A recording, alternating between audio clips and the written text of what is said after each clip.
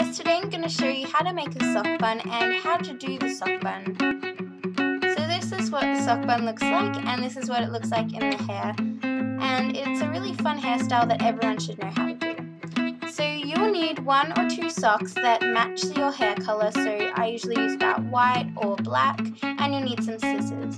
So basically you want to take your first sock and this is the sock that's not going to be seen and cut off the top of it so that you have something that looks a bit like a tube.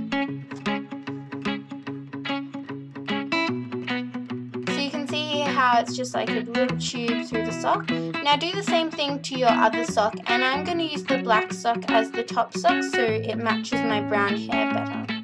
But if you had blonde hair you could use the white sock on top. So what I'm going to do is take the ruffled end that I've cut off, because we don't want it to be seen, and just start rolling it back in on itself. So you're creating a little donut shape. So you can see here how I'm just rolling it and pulling it with my hands. And then if you get a bit too much material at the top, you can just pull on the end sock. And so you just keep twisting it through all the way down the sock and see how I just pulled down there so that there's not too much material going around. You want a pretty tight wrap.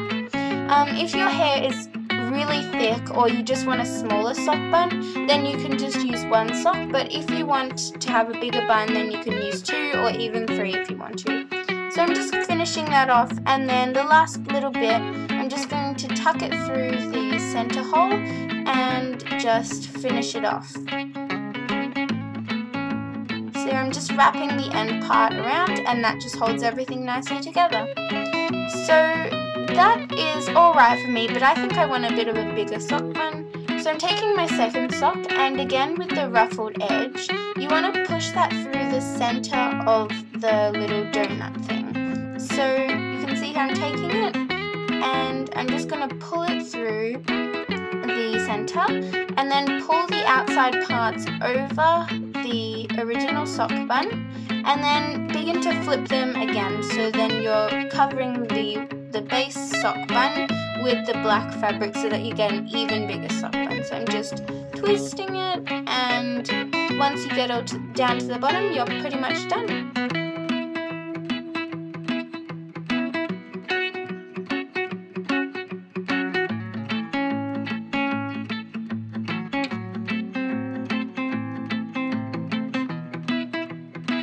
So here's just the end. I'm just taking those final little bits of sock and just wrapping them around the sock bun. So you can see here it's really easy and this is great for old socks that have holes in the bottom that you don't need anymore. So I'm going to show you how you can use this. Now usually you would wrap the hair down, but I actually can't do that because my hair is too thick and long. So I've just put my hair into a ponytail and I'm just pulling the little sock bun form over my hair so that it's on top of the ponytail.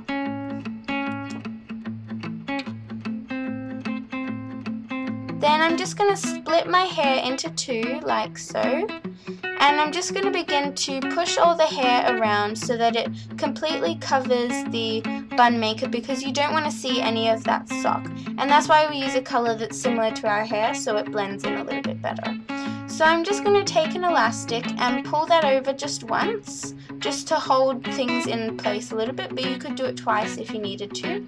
Take all the remaining hair and just begin to twist it up into a little twist that will surround the sock bun and then once you've got all the hair up you can just put an elastic around it and if you need it you can add some bobby pins but mine usually stays together pretty well.